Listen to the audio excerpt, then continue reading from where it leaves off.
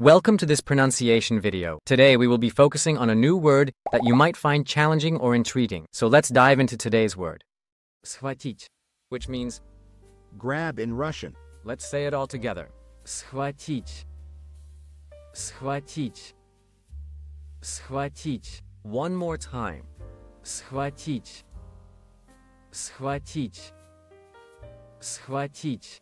Thank you for joining us on this adventure in pronunciation. Remember, language is a journey, not a destination. Keep exploring, experimenting, and expanding your linguistic horizons. We'll see you next time.